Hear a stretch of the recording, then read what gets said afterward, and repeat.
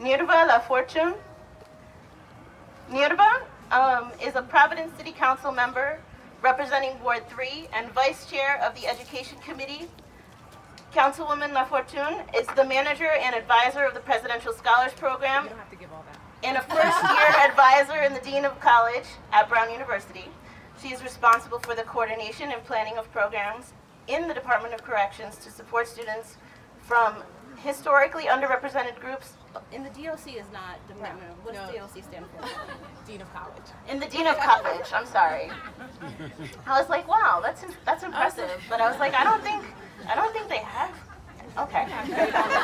Um, Okay. so she supports students from underrepresented groups and students with great financial need. Um, an avid reader marathoner and has embarked a 50 state challenge with her son and daughter and hopes to visit all seven continents. That's a very beautiful bio. Thank you, Mirva.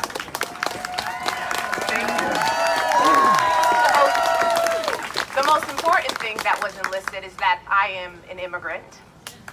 I was also once undocumented, and I I was separated from my family. And so one of the things that I'm noticing today is that we have evolved. Many, many, many years ago, I'm not going to say how many years because I would give up my age. My parents didn't have this um, support. There was no one there to hear their cries. There was no one there to hear their prayers while I was back in Haiti and they were here in America. And I was in Haiti during the um, Duvalier era. So my family, my, my parents had friends who were persecuted. Um, my um, my um, maternal grandfather was actually murdered um, by um, bandits. Um, and some say they were part of Tonton Macoutes. And so immigration affects many people from many backgrounds. Some are Spanish speaking folks, some are French, Creole speaking folks. Some people come from countries where they speak um, native indigenous languages. But it um, impacts so many people. And to see so many of you here today, to, to, to call out our government, and it's interesting, what I've heard also is that um, they're monsters. For the past two months, I've been trying to figure out which monster I can describe the uh, president to be and members of his administration. And the reality is, is that many of those monsters have empathy. They have compassion. And this person lacks empathy and compassion. When I talk about this, it triggers me because I understand the impact that separation has on children. When I came to this country, my mother left when I was an infant, so I didn't know my mom. They wouldn't give me a visa, despite that I was a baby. And so when I came to this country, I didn't even know who my mother was. I still remember someone, and I remembered my dad because he left after.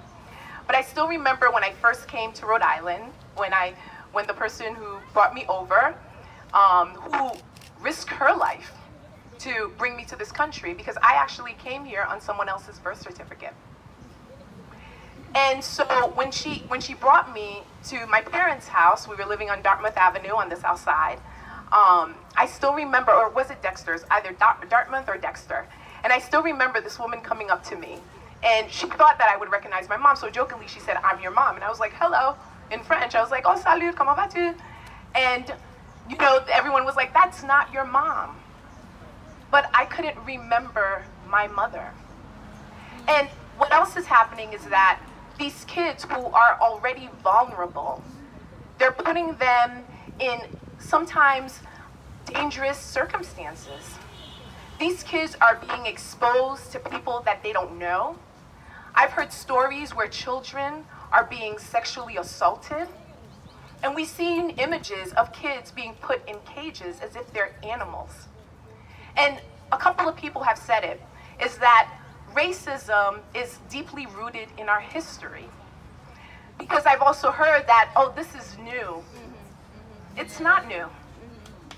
Separation of families started during slavery. It started during the American Japanese concentration camps when indigenous populations, when they would take their kids to colonize their kids' minds and whitewash their minds, so they would send them to those special schools. It started way before now, and unfortunately, there are many people who believe that if you're an immigrant, you don't belong. And the reality is, is that immigrants built this country. And the country that this, they built was, again, not their country to begin with. And so, and, and slaves, enslaved, the enslaved also built this country. So as we advocate against this, we also need to be reminded that this is nothing new. Until we change the DNA of our country, this will continue. In the past, it was black African Americans, it was Native Americans, it was Japanese, and today it's immigrants. Tomorrow it'll be someone else. We have to stop this. Too many families are being affected. Too many people believe that they are more superior than others. And the reality is, it's because they're doing this out of fear. They don't know. Immigrants are your neighbors. There's a family right in my ward who's struggling with this issue right now. And it's not just happening at the border. It's happening right here in Providence. It's happening in New York. It's happening in Boston. It's happening in Miami. It's happening in Michigan. It's happening in California. It's happening everywhere. Someone in my ward, her husband, who's been active in her child's school, who picks their ch children up every day, who takes them to their doctor's appointments, who cooks their meals, was was was was um, taken into custody.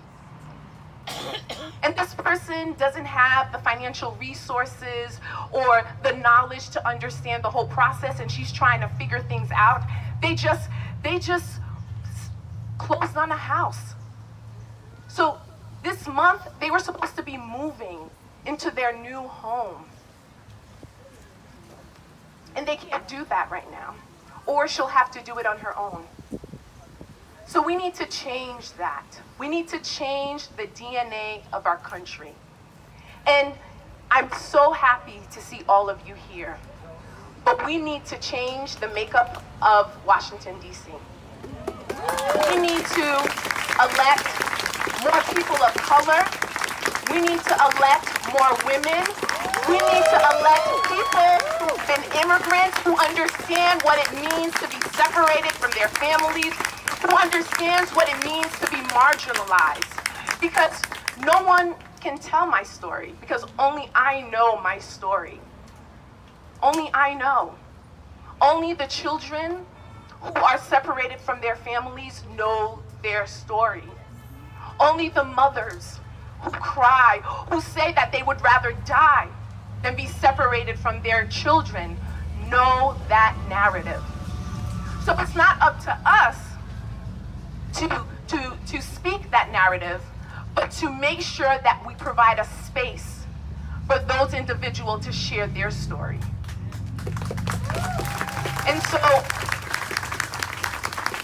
what I'm going to ask all of you today to do is when you go home, get to know your neighbor because we're, we're, we're advocating for what's happening at the border, and we should, and we need to continue to do that.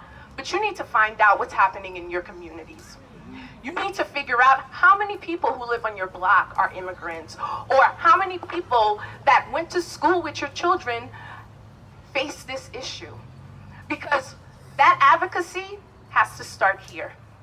We cannot force DC or advocate for members of Congress or the Senate or our president to do anything if we're not supporting people here in our community, if we're not pushing our representatives here in our community, if we're not, if we, if we don't even know who our neighbors are. So when you leave here today, figure out who's your neighbor. Figure out how you can support someone who's facing this issue right here in Rhode Island or next door in Boston or Connecticut. Because it has to start here in our own backyard before we can address the issues outside of our community. Thank you.